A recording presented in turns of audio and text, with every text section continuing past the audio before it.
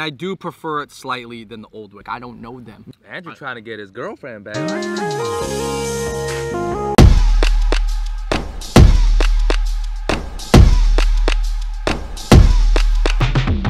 What's going on everybody? Welcome to another special food court edition of Fung Bros Food. So we just did Costco, we just did Sam's Club, and because you guys asked for it, now we're doing IKEA.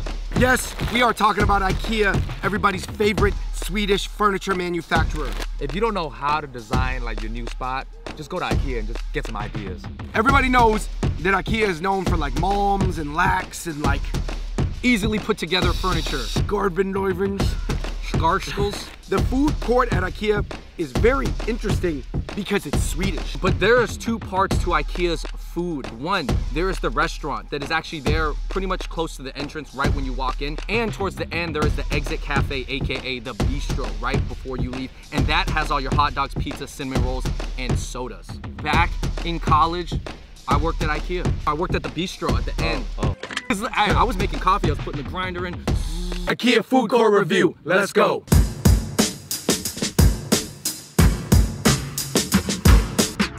All right, everybody, thank you so much for clicking on that video. That video is sponsored by Squarespace, and definitely check them out if you are thinking about creating your website soon. They're clean, cool, easy to use, intuitive, and there is no coding required. So definitely check the link down below to get 10% off your first domain purchase. Now you can enjoy the rest of this video.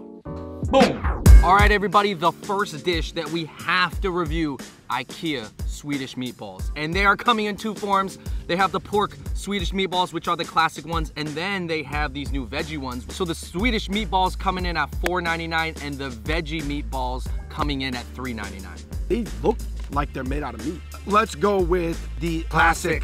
What, with the lingonberry sauce? Lingonberry is essentially like the Swedish cranberry. All right, so we're gonna eat the Swedish meatball with the gravy and no lingonberry sauce, all right? IKEA Swedish meatballs.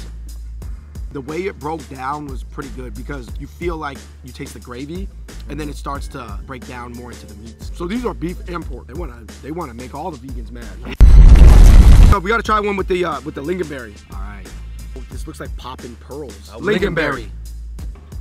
With the lingonberry sauce, would you put it over just the gravy? I wouldn't. I wouldn't. I, Wow. wouldn't- I would say go light on the lingonberry. Vegetarian Swedish meatball. It was a little more mushy, but I felt the outside, they really cooked it together on the outside. I, I don't want to be a negative Nancy, but I did not really like that one. But you can't stop Debbie Downer.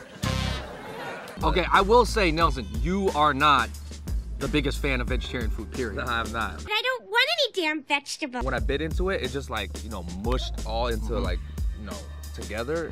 I eat, you know, Agreed. vegetables like on its side and by itself and stuff, but I guess mi- all mixed together like that, grind it up and stuff. Ooh. Yo, I gotta say, man, that has a lot of flavor. I do like the pork and beef Swedish meatballs overall better, but this in a way does have more flavor because it has more seasoning. My ranking on the IKEA Swedish meatball, 3.5 out of 5. Oh. And then on the vegetarian one, also a 3.5 out of 5.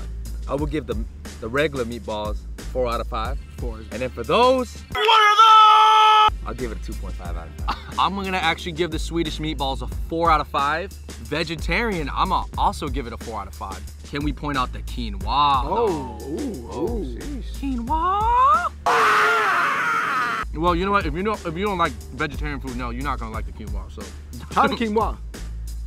that's gonna help you jump higher, though. No, that's good. That's not bad. Yeah, I like it. Do you like it even better than the meatballs? I do. Really? I do. Is it? You don't like the fake meat? You don't Yeah. like the, the the vegetarian meat that's faking the funk? I gotta wash down some of this stuff with some drinks. I'll get the apple and jorgub. Jorgub, I believe, is strawberry. Drickparan. I'm, I'm, I'm thinking that means pear drink. It's look like that. apples though when you first read it though. Appleton? Yeah, but it's actually orange. Appleson sounds like a last name. Yeah. Yo, I have this smoothie, blabar, and halan. Cheers, guys. I was gonna Hey. say, are these organic? And I read the box that said organic. Man, this is a smoothie blend. This is 100% juice, but I definitely feel like without it being cold, it, doesn't taste that good. Oh, good enough Unique though. Here we have some items from the IKEA Bistro. Andrew, can we trust you to give an unbiased review of the bistro? Not on that team anymore, man. I I switched to H&M, another Swedish company. You might as well move to Sweden. Let's go into the pizza first because we've been reviewing pizza at Sam's Club and Costco so much. It's just one flavor, cheese. Just cheese. Cheese. They keep it simple. IKEA's pizza coming in at $1.75. IKEA cheese pizza.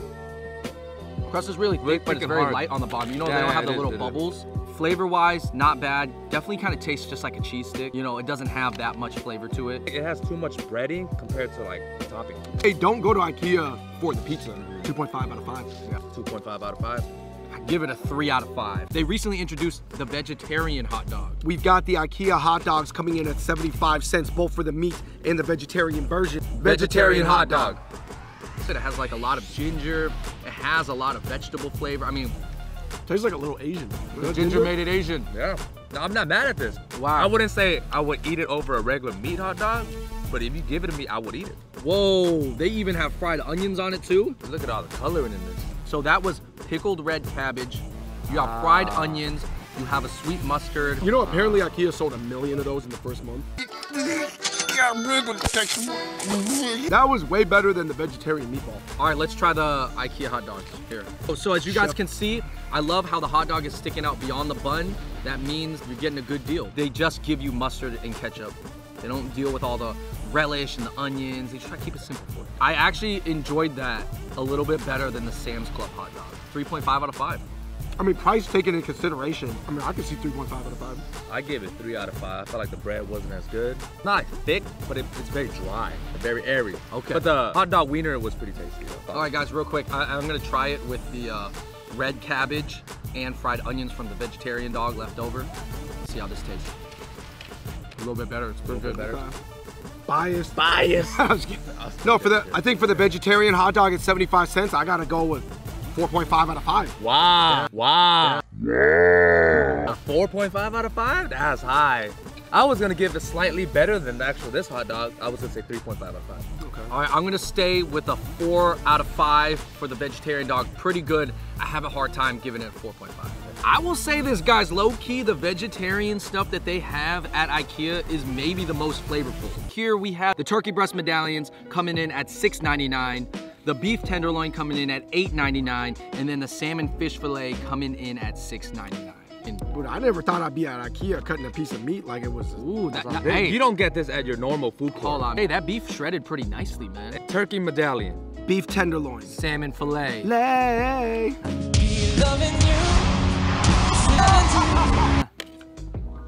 My favorite was the salmon. My favorite was the salmon as well. I'm rolling with the salmon. That was the That was most super delicious. good. That was super soft. yeah.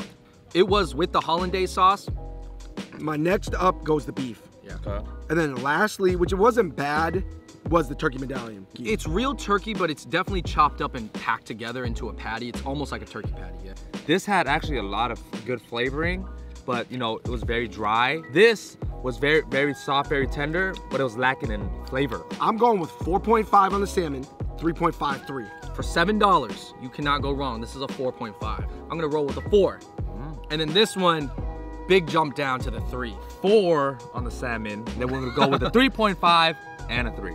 Yo, I'm feeling this cauliflower cake. Dude. 4.5 on the salmon plate holistically. Holistic score, 4.5 on the Because salmon it, plate. because it gives you the cake too. yeah, because you got the cake. The Guys, that hollandaise sauce is killing that dish. Growing up in Seattle, actually, there's actually a lot of Scandinavian slash Nordic people, and they eat a lot of salmon out there too. And that's why we grew up eating a lot of salmon. We got first off. chicken tenders coming in at $6.99. Chicken tenders. Wow.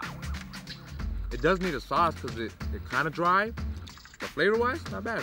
Say the outside is still crispy. 3.5 out of 5. I'm rolling with 3.5 out of 5. I felt like it was three. After that though, how dry that was, That chicken was dry. Real dry. I gotta go in on the, on another drink. The Drick Flather. I got the apple strawberry. Drick Lingen. Mine is elderflower. So here's the thing about lingonberry juice. It's like cranberry juice, except even less tart. You know, you drink that ocean spray cranberry juice, you kind of like, your mouth makes this face afterwards, like. But this Oh. one, it doesn't. This really legit tastes like a smoothie. It's actually like a legit smoothie in there. You have this raspberry flavored Drick Helen. Tastes like vitamin water. Whoa. This is Sweet actually pretty good, man. You wanna try this? It kind of Yeah. tastes like chrysanthemum. It has the floral taste, kind of like chrysanthemum. A oh, similar, fooled.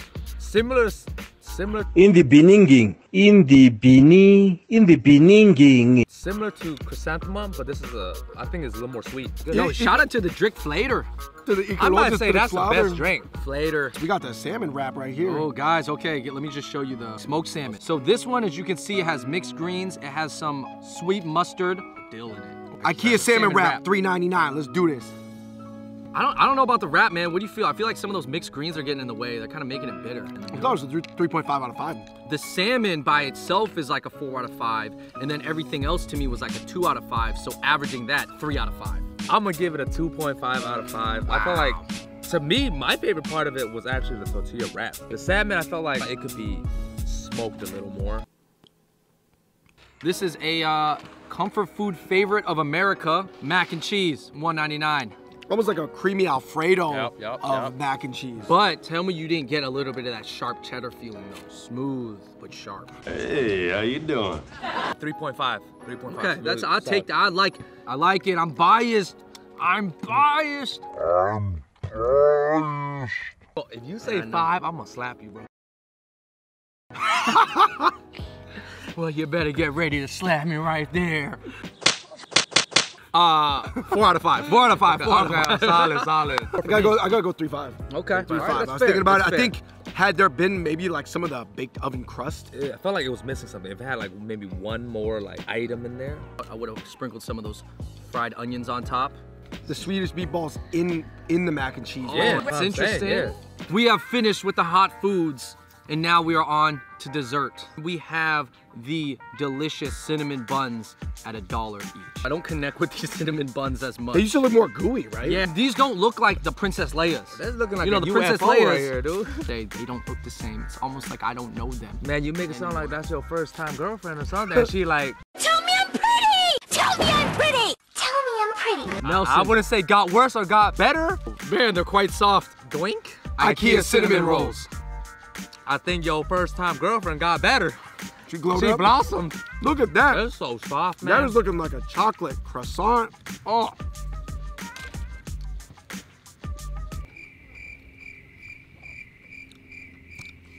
Let me say this. Overall, I do think it's better than the old cinnamon mm-hmm. bun. There's like heavy gooiness, but heavy dryness. And that sort of juxtaposition, the contrast is too stark for me. It's an interesting take. I can't say that it's better or worse. I, I maybe prefer actually the old way. I'm gonna give it a four out of five because I was not expecting it to taste good based on how it looked. And also, it's a dollar. I gotta go with four for a dollar. I mean, a dollar. Yeah, Guys. you taking price in consideration, give it a four out of five. Four out of five. And I do prefer it slightly than the old one. Andrew trying to get his girlfriend back. I see you gonna call call Sin a babe. All right, guys. This is, hey, now you didn't make a comment about how tiny the slice. I was about to say, who ate the brownie already? They're very dense though. The gooey brownie, 150. 4.5 out of 5. Right, man. It just tastes good. The texture was, you know, perfect for me. Nice and gooey, soft. Does it justify how small it is? It does. For 150, all right, I take it, I take For it. 150 size doesn't matter. Nice. Five out of five. Whoa! Is that the first five in the series? Is that the first ever five in the series? I don't think we ever gave a five. No, did you give the churros, Costco churros five? Did- Yeah, I can't believe you gave Costco churros five. 4.5 out of five. Hey. Ah! You know, I gotta cut out, I gotta cut out the sweets a little bit because I'm not trying to get that dunk package, but I would eat that again. Nelson's life does revolve around dunking. Guys, if you have any suggestions on dunkable foods, Super duper deep dunk! Mm. let us know in the comments down below. All right, man. We'll do a dunk package video sometime. It, it Pumpkin is the holiday season. Pumpkin pie, 199. I felt like it was too mushy. I wish the crust was a little harder. I I'd give it a 2.5 out of 5. This pumpkin pie filling is good. Give it a 3.5 out of 5. I'm actually at 3.25 again. That means three, guys. Yeah. These last two are touted as probably the top cakes at IKEA. One Lingonberry hundred- cheesecake, 299. I, I feel like the lingonberry adds a good taste to it. I would give it 3.5 out of 5. 3.5 out of 5. 3.5 out of 5, yeah. I'm with you guys in 3.5 out of 5. Okay, solid. It was consistent. solid, but not great. There we got the chocolate cake. You know what I like about this chocolate cake? It looks like every bite is good. You got the cake, you got the frosting, you got the filling. The 2.99 chocolate cake from IKEA. You got Four out of five. Four out of five. It was good. That was a really big bite. I have to really. Yeah, I thought the good. regular chocolate cake was a four out of five. So, real quick, guys, what was your favorite thing and what are your takeaways? And don't everybody say the salmon, because we know the salmon was good though. Well, then let me say the salmon. I thought I was just impressed by how soft the filet was. classic meatballs. I liked it without the lingonberry. The vegetarian hot dog. Oh, I love pickled cabbage. I thought the, the sweet mustard was nice. elderflower drink. Elderflower. Oh, the oh, yeah, elderflower that drink. was Yeah. Okay, so we all decided that the best dessert was obviously the gooey brownie. Basically, I think stuff like IKEA, IKEA being a furniture store, and they have very decent foods. Mm-hmm. All right, you guys, that does it for the IKEA restaurant and bistro review. I know that we did not get to every single item. Uh, may, we may in a later video, but make sure you let us know what other things you'd like us to review in the comment section below. All right, you guys, thank you so much for watching that episode of Fung Bros Food IKEA Food Court Edition. One, in the comment section below, let us know what you think about IKEA food and if there are any unique foods at your local IKEA that they serve. And number two, make sure you let us know what is the next food court you would like to see us review. Definitely, please subscribe to our channel, subscribe to Nelson's channel, turn on your notifications, like this video, and everybody, until next time, we out. Peace. All right, everybody, thank you so much for watching that video. Please give it a big thumbs up and definitely don't forget to check out Squarespace at the link down below because I know you heard of them, but have you tried them? Especially with the new year just around the corner, I know it's a perfect time to get started on your side hustle that you've been, always been meaning to get to. I personally love how easy Squarespace is because uh, having our own website has been super crucial to uh, being legit, something that people can reach out to, something that people can go to. Actually thinking about starting a new website and a new brand soon, and I can't really tell you exactly what that is, but let's just say that we might be using the magazine template. If you browse through Squarespace, you can actually tell they have tons of beautiful, award-winning website templates to choose from that can really help your business, your goal, your blog, or whatever it is. You can get your own domain, there's powerful editing tools, it's intuitive, it's clean, it's easy, it's Squarespace. Check out the link down below when you're ready because you can get 10% off of your first purchase of a website domain if you just go to squarespace.com slash bros. Definitely check it out. No credit card required, no coding required. Man, it's too easy. All right, everybody, check them out. Thank you, Squarespace. And until next time, I'm out. Peace. I like uh, Dingleberry. Dingleberry. Dingleberry is what you call somebody at recess that you don't like. Call them a dingleberry. You dingleberry. Dingleberry.